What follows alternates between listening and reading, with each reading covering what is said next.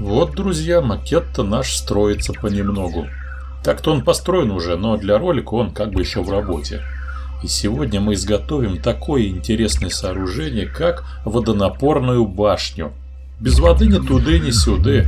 Даже песня про водонапорную башню есть. Мы с тобою. Две капли разные. Одной воды. А главное, что башенку мы сделаем также из конструктора от компании «Умная бумага», как, впрочем, и все остальные элементы нашего макета, и признаем, что нас продолжает радовать и даже приводить в восхищение качество модели от «Умной бумаги», тем более за столь скромные деньги. И башня не является исключением, но не будем торопиться. Готовую башенку вы увидите через несколько минут и сами сделаете выводы. Лучше объясним нашим зрителям, для чего вообще нужны водонапорки и с чем их кушать. Назначение всем понятно из названия. Это сооружение, которое применяется для водоснабжения в бытовых, промышленных и других целях. С конструкцией тоже все изично. Водонапорная башня состоит из резервуара для воды и опорной конструкции.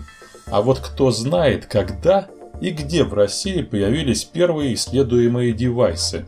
Оказывается, в далеком 1519 году в Пскове. В ответ на это в Великобритании образовалась рок-группа. Впрочем, рок-музыканты на то время были экзотикой. Ну, по крайней мере, можно поставить лайк, если ты, друг мой, из Пскова. 19 век – бурное строительство башенок по всей стране и прежде всего на железнодорожных станциях и депо.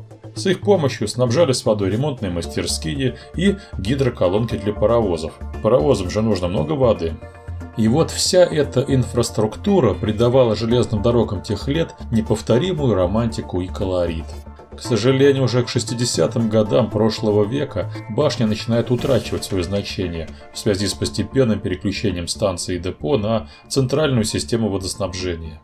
Часто было, что башня, уже выведенная из эксплуатации, все еще продолжала стоять на привычном месте, постепенно разрушаясь. А затем, спустя годы, ее просто сносили. Например, на станции Горький-Московский, у известного всем 21-го пути, еще на нашей памяти – а жаль, ведь многие из этих построек, особенно дореволюционных, являлись историческим наследием. Поэтому то, что компания «Умная бумага» выпускает такие сборные модели, да еще в правильном 87-м масштабе, может только радовать. Без преувеличения из их продукции можно построить вполне полноценный железнодорожный макет. Давайте соберем башенку и порадуемся вместе. Погнали!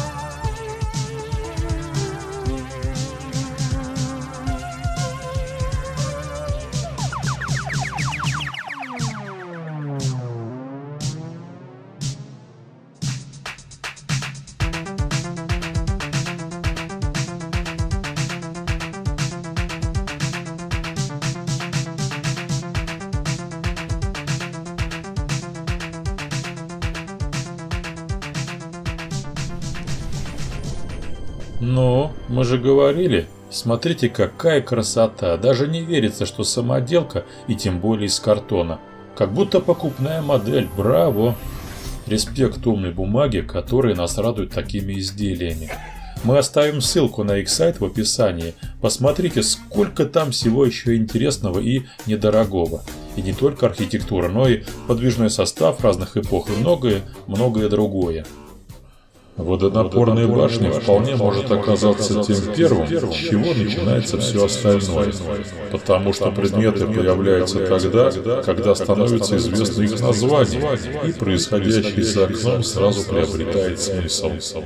Так начинается рассказ Виктора Пелевина, который называется «Водонапорная башня». Надо же, известный мистик, в активе которого много интересных произведений. А вот поди ж ты, целый рассказ написал по теме ролика. Не иначе, как он тоже вдохновлялся изделиями от умной бумаги. Может вообще отдельный фильмец снять про водонапорные башни? Напишите, пожалуйста, как вам такая идея. А мы скажем большое спасибо всем, кто досмотрел эту ленту до конца. Джентльмен, разумеется, подписан на канал и уже ставит лайк, а может дис. Подписывайтесь на нашу группу в ВК и Инсту. И на стримы заходите. Всем спасибо за просмотр, всем удачи и до новых видео.